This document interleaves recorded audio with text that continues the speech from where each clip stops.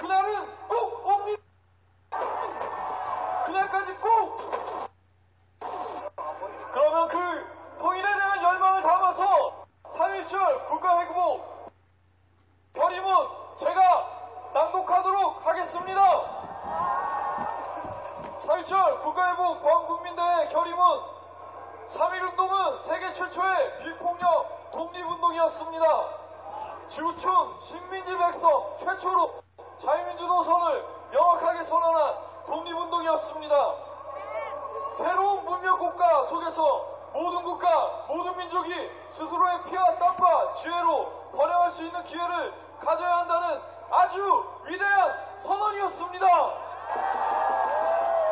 하지만 정말 안타깝게도 100년이 지난 지금 자유와 번영은커녕 대한민국이 해체되느냐 짝이 없는 갈림길에 우리는 서 있습니다.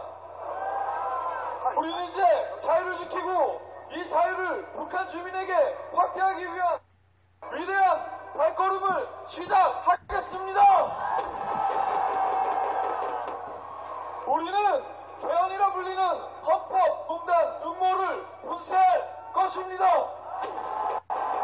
민주주의라는 헛된 이름을 앞서 자유민주주의를 폐기하고 지방분권이라는 사탕만 유혹하며 공화국의 중앙정부를 해체하려는 시도를 반드시 무산시킬 것입니다.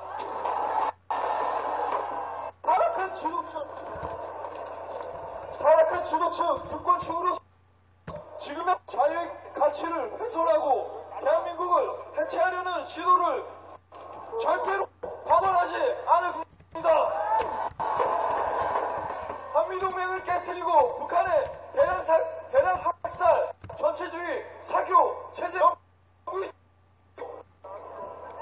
북한의 핵과 미사일로 우리를 위협하는 문재인 정부를 반드시 되십니다. 자유 대한민국을 다시 회복할 것입니다. 우리는 북한의 대량 살상 무기를 제거하는 노력을 적극 지지하는 주민을 김정은의 국자 그들을 자유시민으로 부활시켜 글로벌 사회의 주사회 우리는 깨 나설 것입니다. 오늘 사요 민주시민은 9년이 저희 일어나 다음과 같이 선언하고 결의합니다.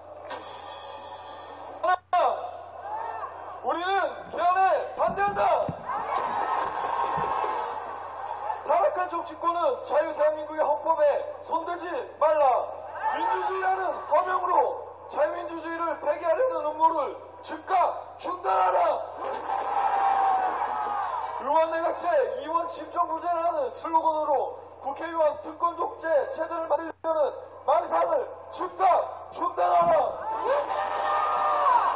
지방분권이라는 사탕발림으로 대한민국 국가체제를 해체하려는 시도를 즉각 중단하라. 개헌을 반대하기 위해 오늘부터 6월 10일까지 주저할 것을 결의한다. 한미동맹은 대한민국의 안보를 위해 반드시 강화되어야 한다. 또한 우리 국민과 인류 전체의 생명에 치명적 위협이 되는 북한의 대략살상 무기를 제거하기 위해 국제사회가 어떠한 군사적 수단을 선택하도록 지지한다. 핵무기를 고 김정은 정하고 북한의 주민을 구출하기 위해 어떠한 희생과 대가가 발생하더라도 기꺼이 감낼 것을 결의한다. 셋! 대한민국은 자유민주공화국으로 거듭나야 한다. 그리고 한반도 전체가 자유롭고 독립적인 개인들의 도전으로 부활해야 한다. 이것은 비단 한국의 문제가 아니라 현대 문명과 인류 전체의 과제라는 사실을 우리는 즉시한다.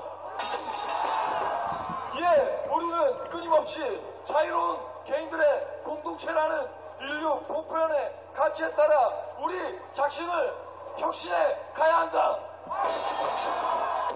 우리는 평양 붕괴 이후 남과 북의 모든 사람이 자유롭고 책임있는 독립적 개인으로서 한반도 전체를 아우르는 자유민주공화국을 이루는 그날까지 자유 통일을 위해 헌신할 것을 결의한다. 네! 대한민국의 국가 회복과 한반도의 자유 통일을 실현하기 위해 우리 자유 애국 시민들은 보다 지능적이고 전략적인 애국 시민 동맹으로 거듭난다. 예, 우리는 스마트폰, 인터넷, SNS, 유튜브 등 모든 수단을 이용해서 그것을 결의합니다. 여러분, 오늘 이 자리에서 태동하기 시작한 위대한 애국 시민의 네트워크를 우리는 자유 통일 동맹이라고 부르겠습니다.